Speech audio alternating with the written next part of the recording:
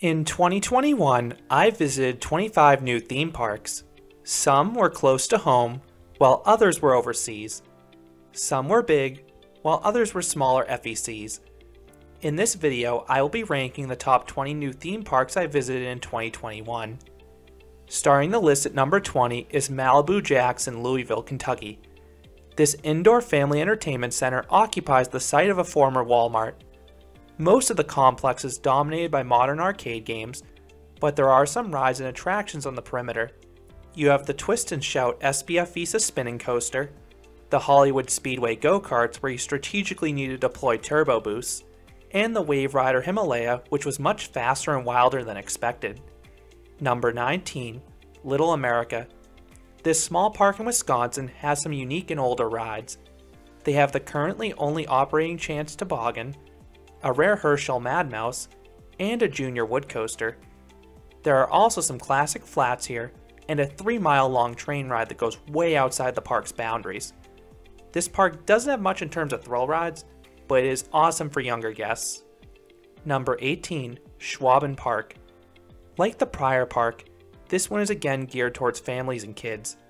Force 1 is a good Zierer family coaster with some decent positive Gs, both Hummel Brummel and Wilda are rare rides with awesome soundtracks, although the ride experiences are a bit lacking in my opinion. The park does look amazing though, as it has a little theming, plus a lot of greenery. Number 17, Santa's Village Amusement Park. Yet another family park, this one has a light Christmas theme to it. I love the look of the front section of the park. Then you have a few quirky rides like the firefighting ride and the Jolly Trolley Dark ride, then you have carnival rides and two off-the-shelf coaster models rounding out the park. But for thrill seekers, the park oddly has two bona fide thrill rides, an extreme elevation, which is an intense Larson arm drop tower, and Blizzard, which is an inverting frisbee. Number 16, Bay Beach Amusement Park. This is one of the best value amusement parks out there. In fact, it may be the best. All rides cost between 25 cents and $1 and that even includes the Zippin Pippin wood coaster, which is easily their star attraction. This wood coaster is very well maintained and chock full of airtime. None of the other rides are standouts in my opinion, but the park is a laid back atmosphere because it basically functions as a city park. Number 15, Conny-Land. Switzerland's top theme park may be small in size, but it is unique.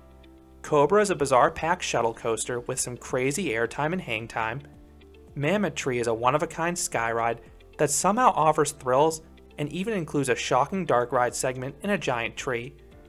Then you also have a dark ride and some quirky water rides. What the park lacks in quantity is compensated with weirdness, and the park had more theming than I anticipated on their larger rides and attractions. Number 14, Legoland New York. America's newest Legoland features the familiar colorful architecture and theming. Between the expansive miniland and the theming on each ride, I loved how this park looked. Just watch out for the lack of shade and that massive hill. All of the rides are geared towards kids and families, but there were three I kept re-riding. Dragon is their biggest roller coaster, and it features a deceptively forceful layout, plus a fun dark ride segment at the start. Ninjago is an addictive shooting ride using hand motions, and the park features the unique LEGO Factory Adventure trackless dark ride, which is very well done. Number 13, Wilden Freizeitpark Klotten. This traditional German theme park is a combination amusement park and zoo. You have quite a few animal exhibits, plus a handful of rides. Roughly half the attractions here are self-operated, including the thrilling Nautic Jet jumping boat ride and the Comet swing ride, both of which give some airtime. In the back of the park, you have Heisafart, which is one of the world's best wild mouse coasters, with its helixes and series of bunny hills, and those will give airtime. You also have a themed shooting dark ride and a very large flume ride in this castle structure. While these rides aren't perfect, they are ambitious for a regional park like this. I just wish this park had more rides, but I did love the laid back atmosphere and setting overlooking the mountains. Number 12, Bellewaerde. This is yet another park combining animals and rides. The park looks very nice between all the trees and the theming given to most rides. And yet again, this is another place geared more towards families. The best rides here fittingly are the family coasters. Wakala is a diverse coaster going both forwards and backwards, and this is a solid Gerstlauer family coaster. Then Huracan is a hybrid dark ride and roller coaster from Zierer.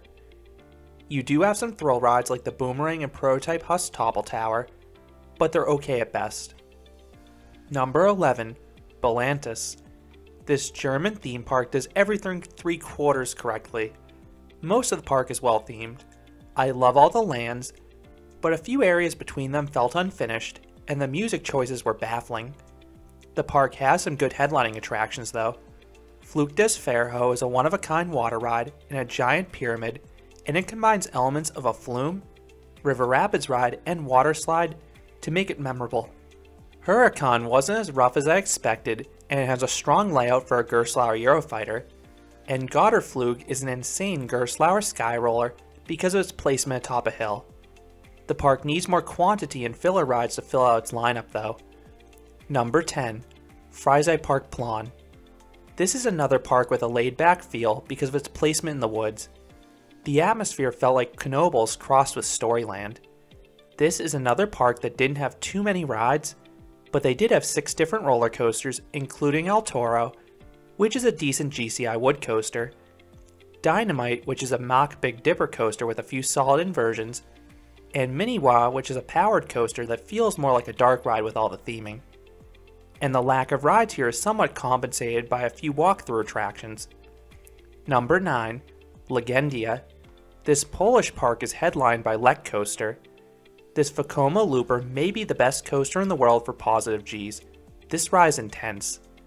The rest of the coasters are just okay, but their supporting non-coasters are solid. You have one of the craziest inverting pendulums in Skyflyer, which has just lap bars and ran a super long cycle. You have the Bazyliszek screen-based shooting dark ride that felt similar to the Justice League rides at the Six Flags parks in America. And then there are a few water rides. The park looks good too.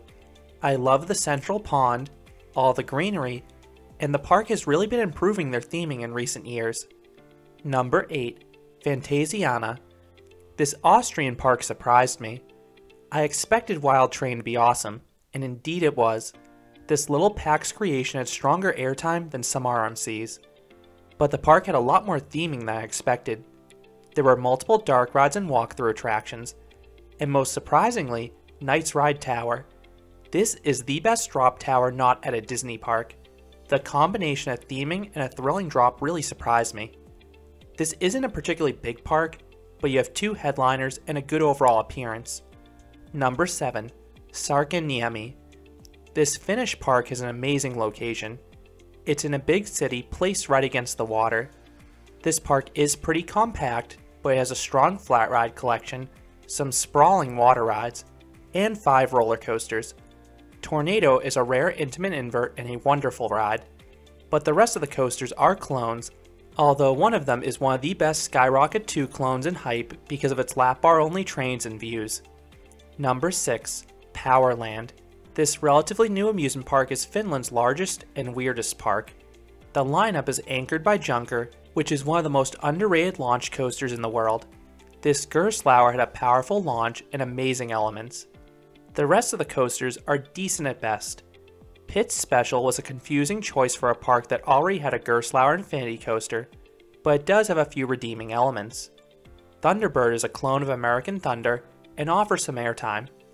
The non-coasters are interesting as you have a shooting dark ride, a very weird log flume, and a few very intense flats like Pegasus. This park doesn't have as strong of an atmosphere as the other parks in the top 10 though, and that's really its biggest weakness. Number 5. Linnanmäki Located in the heart of Helsinki atop a hill, Linnanmäki has an incredible atmosphere and it feeds on the energy of the city. And many rides here offer astounding views. This park is super compact, but it's dense, packing in a lot of rides for all ages and appetites. You have a few dark rides, including the bizarrely good Taika Circus with its hundreds of clowns. You have some great flat rides, including the massive Kingi Drop Tower and the Magia spinning ride, and then you have 8 roller coasters. Most of them are rare or weird models that are okay to decent at best, but there is one star in Taiga. This Intamin launch coaster feels like Velocicoaster crossed with Helix between its placement on a hill and diverse elements. Number 4. Wiener Prater. This Austrian city park feels like a supersized carnival. The park has an electric atmosphere between the city itself and the vibrant lighting packages. And there are nearly a 100 rides, although many are cycled or rotated through. You have some of the craziest flat rides in the world.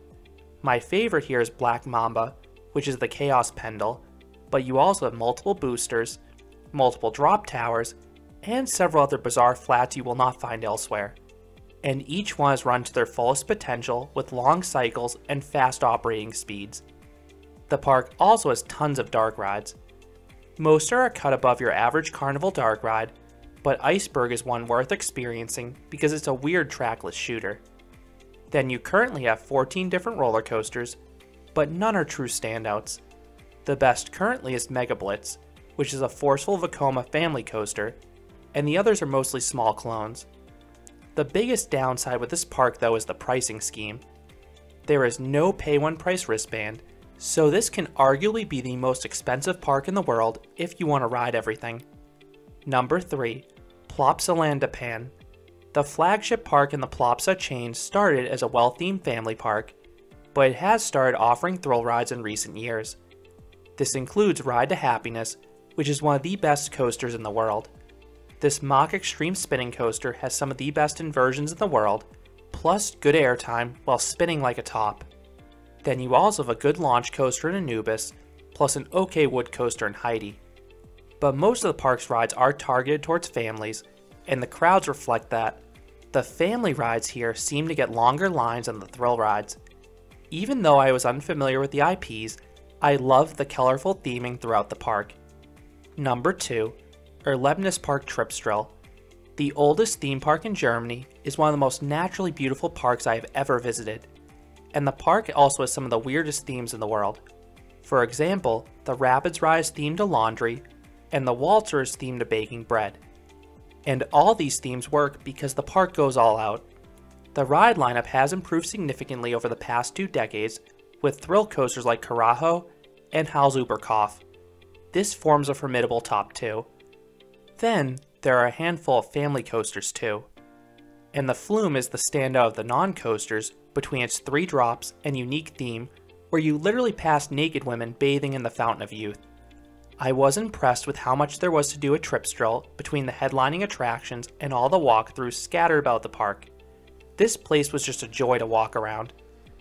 And coming in at number one is Energylandia. The premier coaster park in Europe has a whopping 17 coasters, with two more on the way for 2022. Most of these coasters are clones family rides, or kiddie coasters. But there are two truly world-class coasters here. Zadra is one of the best paced coasters in the world, as this custom RMC hybrid features massive drops, blistering speed, tons of airtime, and great inversions. Hyperion is an Intamin hyper with one of the strongest layouts in the world, mixing in plenty of airtime and laterals.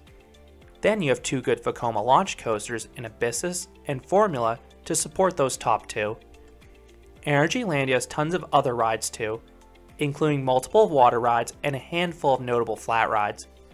Operations here are lightning fast, just watch out for line jumping though. And the automated turnstile load systems can be annoying if you want a specific seat on a certain roller coaster. The atmosphere could use some work.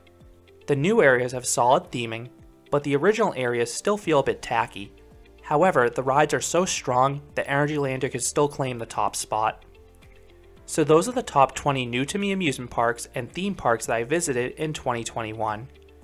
What are your thoughts on any of these parks, or what's your favorite new park you visited in 2021? Let me know down in the comments. If you enjoyed this countdown, I'd appreciate it if you gave this video a like, and you considered subscribing, because there'll be a lot more roller coaster amusement park videos here at Canobie Coaster. Thanks for watching.